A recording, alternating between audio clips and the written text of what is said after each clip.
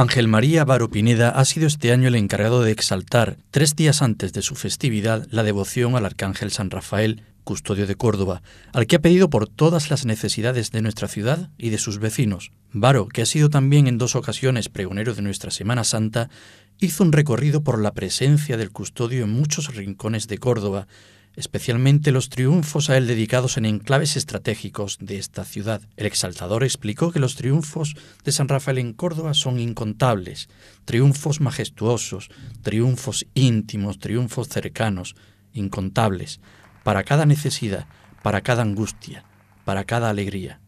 Custodialá de advenedizos y usurpadores de ocasión que con la excusa vacía de la propiedad común y la gestión integral de su mantenimiento pretenden expropiarla.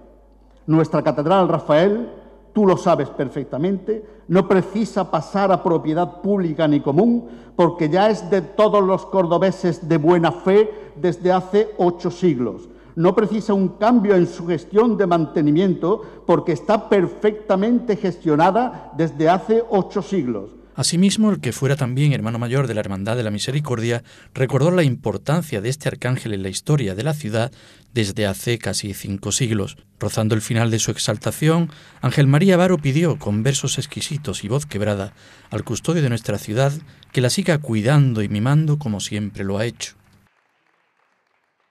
Bendito custodio alado, cordobés de pura casta, gallardo arcángel celeste, medicina para el alba, hoy quiero en nombre de todos pedirte humilde a tus plantas, que aunque nos traigan los vientos o tormentas o bonanzas, sigas acunando a Córdoba como quien canta una nana por los siglos de los siglos en el amor de tus alas.